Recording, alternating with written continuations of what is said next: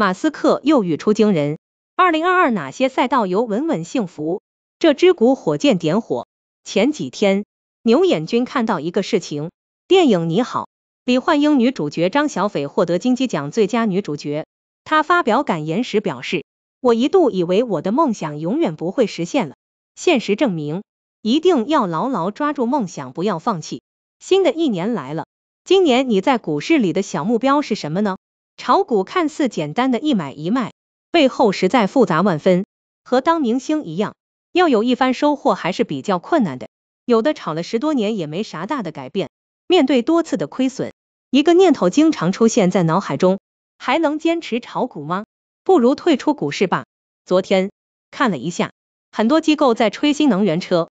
此前，牛眼君看到有高手说道：一般来说，当年最热的赛道。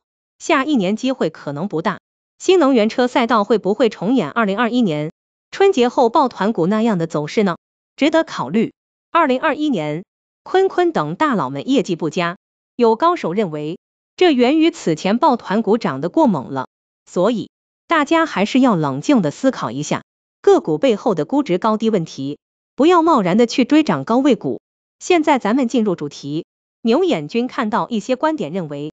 二零二二年全球经济不确定增加，而在前段时间的高层会议上提出很多个稳字，因此有高手认为二零二二年上半年会有稳经济的措施。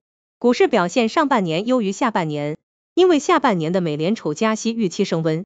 产业链除了氢燃料电池车之外，还包括加氢站建设、电解质氢。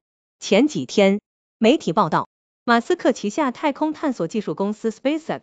在一份监管申报文件中披露信息称，这家火箭公司已经通过股权融资的方式筹集了三点三七四亿美元资金，该公司的估值已经达到一千亿美元。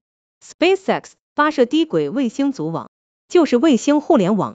最近三个交易日，航天动力连续两个涨停，股价涨了百分之二十三。牛眼君看了他的大股东和第二大股东在资料简介中提到了液体火箭发动机这个事情。